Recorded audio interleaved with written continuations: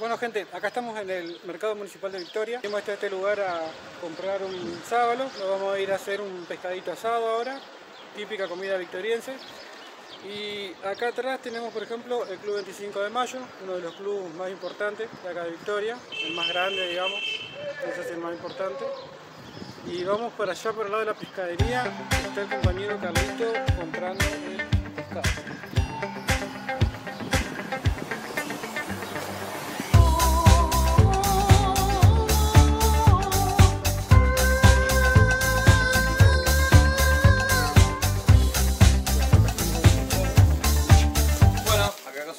Pescado, así que ahora vamos a ir a hacerlo y bueno, vamos a enseñarle cómo abrirlo y vamos a cómo.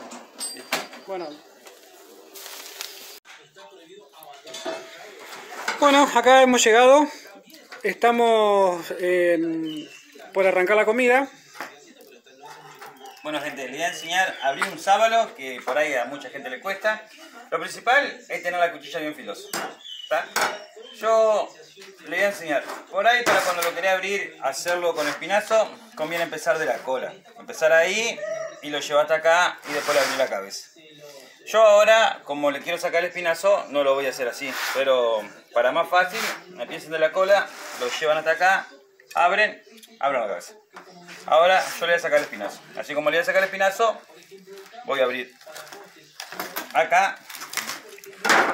Un chiquito, le saca la pella este no tiene porque no, ya se lo han sacado, es poquito. Va para el fuego.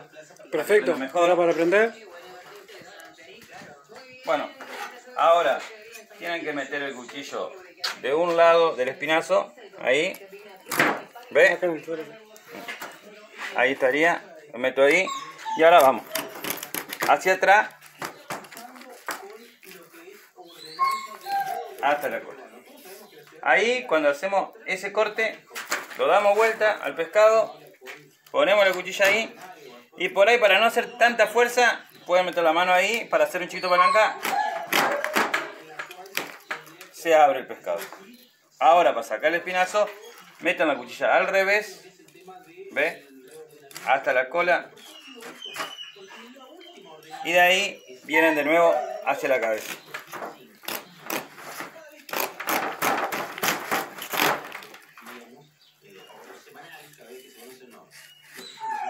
El secreto a veces es el cuchillo filoso. Sí, de uno. Eso es lo principal.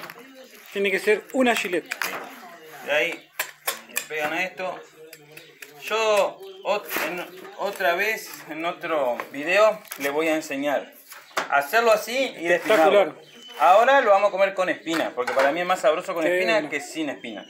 Otra vez le voy a hacer, voy a, conseguir unas bogas y se la voy a hacer despinar y le voy a enseñar cómo se despina. Para despinar se tiene que sacar, acá está todo el listón de, espina, ¿ve? De los dos lados, todo eso es espina. Y acá en la punta de la cola ese pedacito de espina. Pero eso se lo voy a enseñar en otro momento. Ahora vamos abierto así, lo vamos a comer. Perfecto. Listo. Vamos a pasar a la parte del fuego. Tenemos por acá ya armado nuestro fueguito.